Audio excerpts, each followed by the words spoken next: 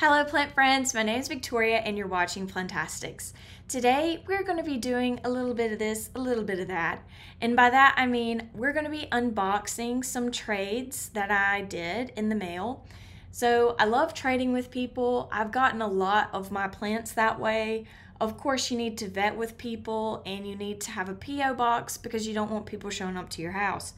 But other than that, and just regular safety instructions, it can be really, really nice. So, what I do first before I ever really get into the box is I like to get my label maker and everything else that I'm going to need. So, my labels, my Sharpie, and so on and so forth.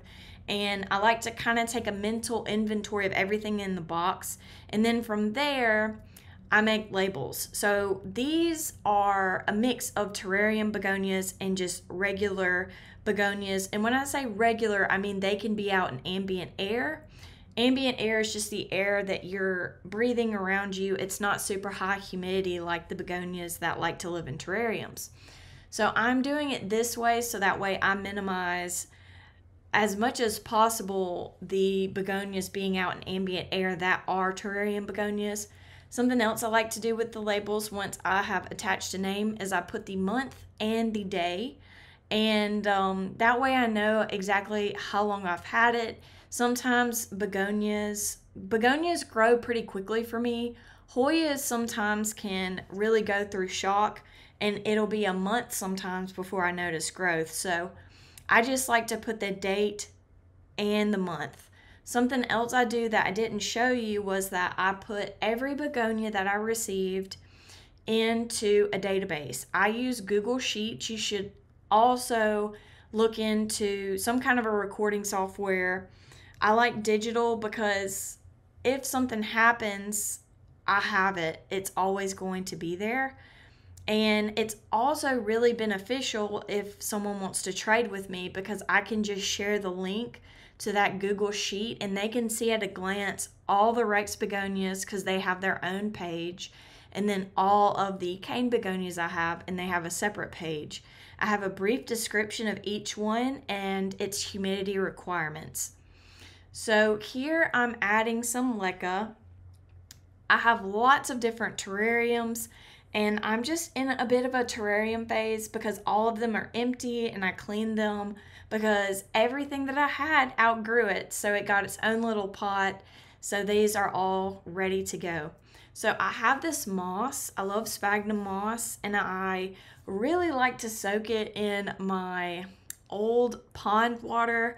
I do collect rainwater as well, but it just doesn't smell good. But pond water, for some reason, or um, I'm calling it pond water, my um, fish tank water that I have, I use to water my plants, and it just has like more of a pleasant smell, if that makes sense. I like to think that it has lots of beneficial bacteria, so I like to soak my moss in that. So here we have this very beautiful begonia and I'd never seen anything like it before. And this one is a terrarium begonia, so it is obviously going into a terrarium. I really love how this person packaged everything because it's really easy to see what the name is and it's got a little um, cloth in there. So, fun story. Well, it wasn't fun at the time, but I was trading cuttings with someone and we were trading African violets. And of course, the cuttings got lost in the mail for two weeks. And the fascinating thing was that the Ziploc bags that had a piece of paper in them, like these, they have paper towels. All of those made it, but the ones that didn't have a piece of paper towel in there, they rotted. And I don't really know what that means, but I just have found that that's the best way to ship them if you're shipping just cuttings. So this begonia is special because it's already pretty far along in terms of propagation. It already has teeny tiny little leaves and it's got roots. So you can see if you look very closely that there are stems and leaves forming and they're really cute. I look forward to growing this one. I don't really, I figured out how I wanted to situate it in there, but at the time I was like in the process of figuring it out because I was like, I don't want that red container in there, you know. I'm trying to go for like a minimalist look. And um, yeah, so moving on, I found the label to that one and tried to pair it up. At this time in the video, I'm actually looking for a different label and I found the one that I needed, and that's the one that goes to the one that's in the red cup. So you can see I have lots and lots of just different containers, and I've been collecting them over probably like a three year period. The big apothecary style jars are very frequently found at my local HomeGoods and they go on clearance quite a lot because everybody's got them, I guess. So no one's really buying them up. So that's why I have so many of them in so many different sizes. So this is honestly, this next begonia, the one that I'm pulling out of this bag, is so beautiful and so unusual. It literally looks like a maple leaf. And it also kind of looks like a cane begonia at the same time. So I was on a forum and somebody was like, begonias, those are so boring. And like, obviously, anytime you're challenging someone's beliefs, you don't end up seeking out to change their mind. But, anyways, I decided to push back on that and been like, hey, um, they can come in so many varieties. And I just like spammed them with a bunch of photos. And they're like, wow, maybe begonias aren't as boring as I thought they were. And I'm like, yeah, they're like an amazing genus. They're an amazing genus. Anyways, so I love begonias. Growing up, we had tons and tons of the tuber begonias. We would buy them at the store. And I really didn't realize how many different begonias that there were until I got into them as a collector and like a, a houseplant um, enthusiast. So here is that one that has the little baby leaves and we're just gonna tuck him in right here. Yes, you could add perlite to the moss, but honestly, I haven't really had an issue with rot if I don't add it, so I kind of just like don't see the point. But then again, if you have tons of issues with rot, you might want to put in some perlite. So I am just kind of working around the layout here and just kind of experimenting with what I think looks best. So I ended up taking that begonia out of the cup so it would have more of like a cohesive look and I kind of just spaced them out. I don't know what I'm going to put in the foreground of this container. I guess I'll figure that out later. But uh, this is it for now. And you can see I have the labels kind of just like tucked away. You really can't see them at first blush, but uh, they're still there. um, so I put that one up and now I'm going to work on unboxing the next group of begonias. There's only two varieties left. So this is a begonia venosa and this is one that can be out in ambient air. It's unique because it has trichomes that make it look fuzzy, kind of like a bunny or a puppy. I was so excited when this collector had a Venosa because I had a Tomentosa and they wanted that, so we traded. So now I have two fuzzy begonias. I don't really know if there are any other cane begonias that are fuzzy. I'm sure that someone will comment some in the comment section of this video if there are. So these are so cool, these containers I have. So there are lots of like scientific, like science class related things around Halloween, and that's what these came from. I think these came from Michael's, and nobody bought them. So I bought them on clearance, and I got two different sizes all of my chemistry looking containers actually came from Halloween at the Michaels near me. Same with there's a coffin terrarium I have that I didn't end up using in this video, but it also came from there and I guess no one wanted it, so I bought it. So this begonia cutting kind of had a frayed end, so I kind of just gave it a fresh cut. Sometimes you can do that. I do always have flowers on my desk, and if three days go by and I remember, I will give the roses or whatever flowers are on my desk a fresh cut and I will change out the water.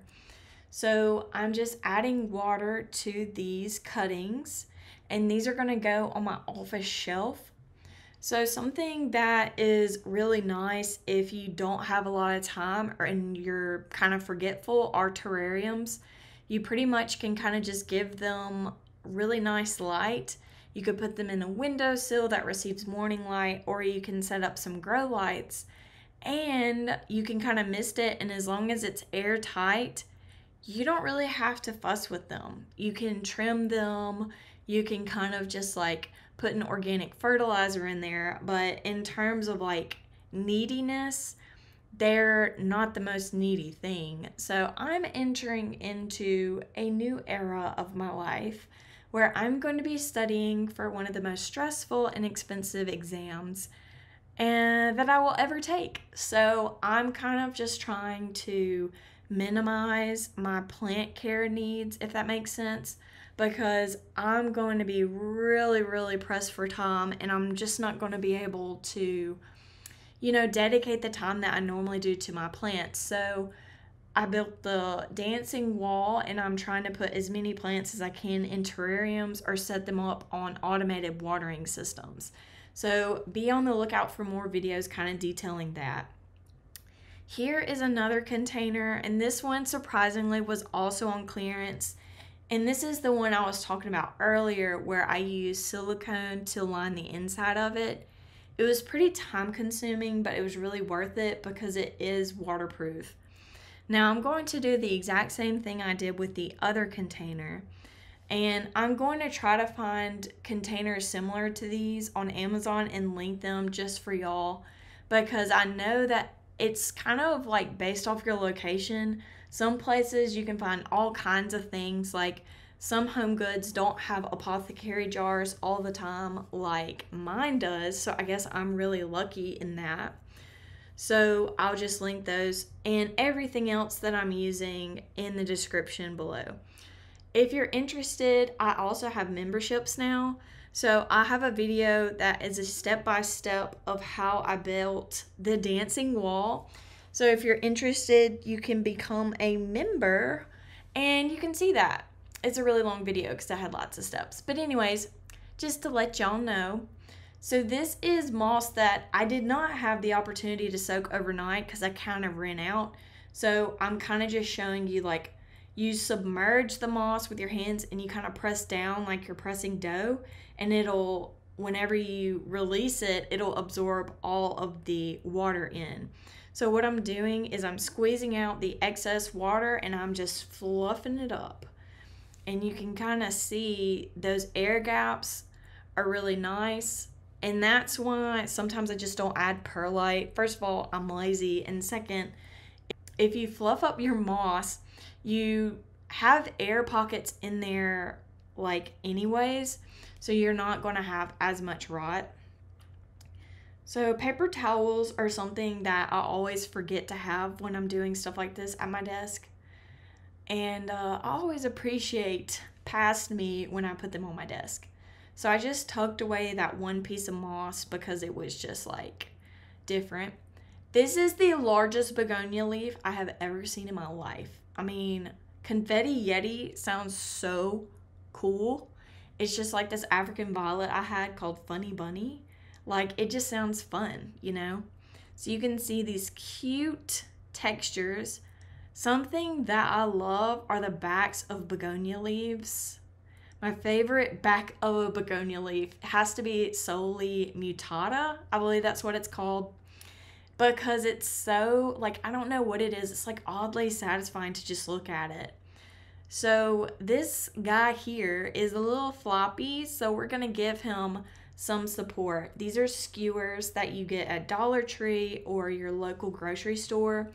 And I use these things for everything. I use them to be trellises, I use them to package plants. Basically, if something's not standing upright or I'm trying to prevent it from being tossed around in a box, I use, I use the skewer. So you can see how I didn't damage the plant. I just kind of have them propping him up so he can look pretty.